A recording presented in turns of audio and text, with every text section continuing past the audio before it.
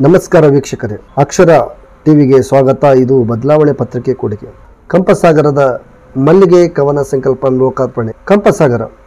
ಕೊಪ್ಪಳ ತಾಲೂಕಿನ ಉಲಿಗಿ ಸಮೀಪದ ಮಲ್ಲಿಗೆ ನಾಡಿ ಎಂದೇ ಖ್ಯಾತಿ ಪಡೆದ ಕಂಸಾಗರದಲ್ಲಿ ಭಾನುವಾರ ಕವಿ ಶ್ರೀ ವಿರೂಪಾಕ್ಷ ಎಂ ಎಲಿಗಾರ್ ಇವರ ಮೂರನೇ ಕವನ ಸಂಕಲನವನ್ನು ಬಿಡುಗಡೆ ಮಾಡಲಾಯಿತು. ಬಿಡುಗಡೆಯನ್ನ ಶ್ರೀಯುತ ಮಲ್ಲಿನಾಥ್ ಎಸ್ ತಳವಾರ ಉಪನ್ಯಾಸಕರು ಕಲಬುರಗಿ ಪುಸ್ತಕವನ್ನ ಲೋಕಾರ್ಪಣೆ ಮಾಡಿದರು. ಪುಸ್ತಕದ ಕುರಿತು ಎಸ್ ಎನ್ ತಿಮ್ಮನಗೌಡರು, ಮಾಜಿ ಕಸಾಪ ಅಧ್ಯಕ್ಷರು ಕೊಪ್ಪಳ ಸವಿಸ್ತಾರವಾಗಿ ವಿವರಣೆ ನೀಡಿದರು. ಕಾರ್ಯಕ್ರಮದ ಅಧ್ಯಕ್ಷತೆಯನ್ನು ಎಚ್ ಪಿ ಭಟ್ ಸಂಗೀತ ಭಾರತಿ ವ್ಯವಸ್ಥಾಪಕರು ವಹಿಸಿದ್ದರು.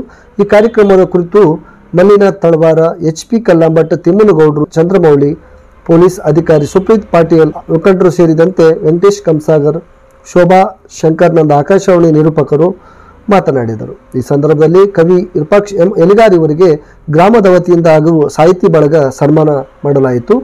ಈ ಕಾರ್ಯಕ್ರಮದಲ್ಲಿ ಹಾಗೂ ಅನೇಕ ರಂಗದಲ್ಲಿ ಸಾಧನೆಗೈದ ಗ್ರಾಮೀಣ ಪ್ರತಿಭೆಗಳಿಗೆ ಸನ್ಮಾನಿಸಿದರು. ಸಂದರ್ಭದಲ್ಲಿ ಅಕ್ಬರ್ ಕಾಲಿಮಿರ್ಚಿ ಡಿ ಎಂ ಬಡಿಗೇರ, ಚನ್ನಪ್ಪ ಮಂಡಿ, ಮನೋಹರ್, ಮಹೇಶ್ ಅರಿಕೇರಿ ಸೇರಿದಂತೆ ಅನೇಕರು ಉಪಸ್ಥಿತರಿದ್ದರು.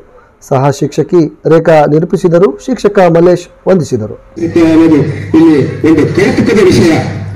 ಈಗ ರಾಜ್ಯ ಮಟ್ಟದಲ್ಲಿ ಮತ್ತು ರಾಷ್ಟ್ರ ಮಟ್ಟದಲ್ಲಿ ಕಂಪಸಾಗರ ಅನ್ನೋದೊಂದು ಹೆಸರು ಅದು ರಾಜ್ಯ ಗ್ರಂಥಾಲಯ ಕೇಂದ್ರ ಗ್ರಂಥಾಲಯದಲ್ಲಿ ಆ ಹೆಸರು ಹೋಗಿ ಇರಬೇಕು. ಅದು ಶಾಶ್ವತವಾಗಿ ಆ, ಒಂದು ಪುಸ್ತಕ ಆ, ಸಾಲಿನಲ್ಲಿ ನಿಲ್ಲಬೇಕನ್ನೋ ಉದ್ದೇಶದಿಂದ ಈ ಒಂದು ಕಂಪಸಾಗರ ಮಲ್ಲಿಗೆ ಅಂತ ಹೆಸರಿತ್ತೆ. ಈ ಈ ಮುಖಪುಟದಲ್ಲಿ ಈ ಊರಿನ ಪರಿಸರ ವಾತಾವರಣ ಇದು ಆಕ್ಚುಲಿ ಮಲ್ಲಿಗೆಯ ನಾಡು. ಹಾಗಾಗಿ ಈ ಒಂದು ಕಂಪಸಾಗರನ ಆ, ಈ ಕನ್ನಡ ಸಂಕಲನಕ್ಕೆ ಕಂಪಸಾಗರ ಮಲ್ಲಿಗೆ ಅಂತ ಇತ್ತೆ. ಏನಂದ್ರೆ ಇಲ್ಲಿ ಅಪಾರ ಒಂದು ಶ್ರಮಿಕರು ರೈತರು ಮಲ್ಲಿಗೆ ಬೆಳೆತಕ್ಕಂಥ ರೈತರು ಇರುವುದರಿಂದ ಈ ಒಂದು ಆ, ಈ ಪುಸ್ತಕ, ಈ ಮುಖಪಟದ ಒಂದು ಕಂಠಸಾಗರ ಮಲ್ಲಿಗೆ ಅನ್ನೋ ಟೈಟಲ್ ಕೂಡ ಈ ಭಾಗದ ಈ ಮಲ್ಲಿಗೆ ಬೆಳೆತಕ್ಕಂಥ ಎಲ್ಲಾ ರೈತರಿಗೂ ನಾನು ಈ ಒಂದು ಅಳವನ್ನ ಸಮರ್ಪಣೆ ಮಾಡ್ತಾ ಇದ್ದೇನೆ.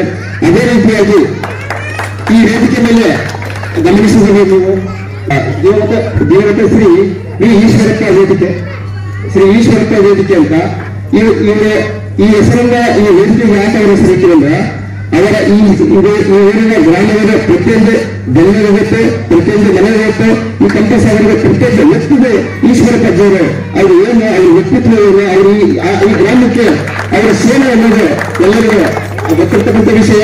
ಅದೇ ರೀತಿಯಾಗಿ ಅದಕ್ಕೆ ಅವರ ಗೌರವ ಸಮರ್ಪಣೆಗಾಗಿ ಅವರಿಗೆ ಈ ಅವರಿಗೆ ಗೌರವ- ಗೌರವದ ಸಮರ್ಪಿಸುವ ಸಲುವಾಗಿ ಈ ವೇದಿಕೆಗೆ ಅಜ್ಜನ ಈಶ್ವರ ಆ, ಹೆಸರನ್ನ ಇಡಲಾಗಿದೆ.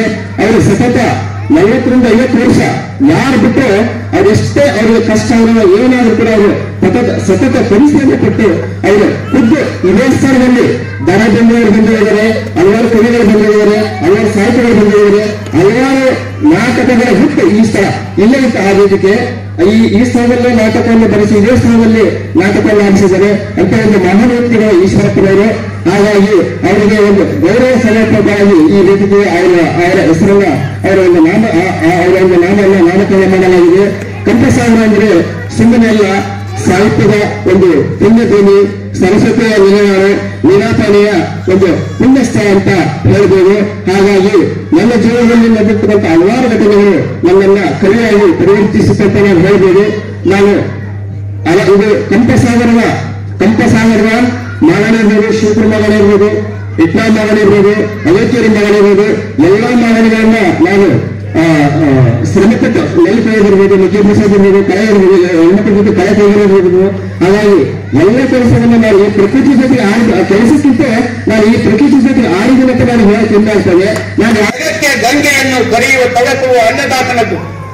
ಅಂದ್ರೆ ಆತ ಪ್ರಾರ್ಥನೆ ಮಾಡಿ ಆ ಗಂಗೆಯನ್ನೇ ಅನ್ನ ಬೆಳೆಯುವುದಕ್ಕಾಗಿ ದಾತಾಯಿ ಅಂತ ಕರೀತಾನ ಅಂತ ಇನ್ನೊಂದು ಕಡೆ ಅವನು ಬಿತ್ತದೆ, ಹೋದರೆ, ಬಿಕ್ಕಿ ಸಾಯುವುದು ಜಗವು. ನಾವು ನೀವು ಬಾಲ್ಯದಿಂದಲೇ ನಮ್ಮ ಬಾಲ್ಯ ಪ್ರೈಮರಿ ಶಾಲೆ ಕಲಿಸಿದ ಮಾತು ಕೋಟಿ ವಿದ್ಯೆಗಳಿಗಿಂತ ನೇತಿ ವಿದ್ಯೆಯ ಮೇಲೂ ಒಕ್ಕಲಿಗ ನೊಕ್ಕದಿರೆ, ಬಿಕ್ಕುವುದು ಜಗವಿಲ್ಲ. ಅನ್ನೋ ಮಾತನ್ನ ಕವಿ, ಅವನು ಬಿತ್ತದೆ, ಹೋದರೆ, ಬಿಕ್ಕಿ ಸಾಯುವುದು ಜಗವು. ಮಂತ್ರ, ತಂತ್ರ, ಕುತಂತ್ರ, ವಿಜ್ಞಾನ, ಸುಜ್ಞಾನವು ಬಟ್ಟೆ ತುಂಬಿದ ಮೇಲೆ ಮತಿಯೊಳಗೆ ಇಳಿಯುವುದು. ನಮ್ಮ ಹೊಟ್ಟೆಗೆ ಅನ್ನಿದ್ರೆ ಮಾತ್ರ ಜ್ಞಾನ ಒಳಗಡೆ ಹೋಗುತ್ತೆ ಅದಕ್ಕೆ ಅನ್ನ ದೇವರು. ಹಸಿದ ಜೀವಕ್ಕೆ ಪುರಾಣ ಹೇಳಿದರೆ ಏನು ಉಪಯೋಗ? ಹೀಗೆ ನಾವು ಬಿಡುಗಡೆ ಇವತ್ತು ಅದು ನಮ್ಮೂರಲ್ಲೇ ಕಂಪಸಾಗರದಲ್ಲೇ ಬಿಡುಗಡೆ ಆಗಿರುತ್ತೆ. ಬಿಡುಗಡೆ ಯಾಕಿರುವುದು ಬಹಳ ಸಂತೋಷದ ವಿಷಯ. ಯಾಕೆ ಮಾತನ್ನ ಮಾತನ್ನು ಹೇಳ್ತಿದ್ದೀನಿ ಅಂದ್ರೆ, ಇವತ್ತು ಮಾತನಾಡ್ತಾ ಹಿರಿಯ ಸಾಹಿತ್ಯಗಳಾದ ತಿಮ್ಮನಗೌಡರು ಬಹಳ ಸವಿತ್ರವಾಗಿ ಹೇಳಿದ್ರು. ಇವತ್ತು ಸಾಹಿತ್ಯ ಇರ್ಬೋದು, ಕಲೆ ಇರ್ಬೋದು, ಯಾವುದೇ ರಂಗದಲ್ಲಿ ಇರ್ಬೋದು, ಅದು ಪ್ರೇರಣಾಕಾರವಾಗಿ ಬೆಳಬೇಕಂತಂದ್ರೆ ಅದಕ್ಕೆ ಮೂಲ ಒಂದು ಕೆಳಮಟ್ಟದಿಂದ ನಮ್ಮ ಹೇಳುವಂತ ಕೆಲಸವನ್ನ ಇವತ್ತು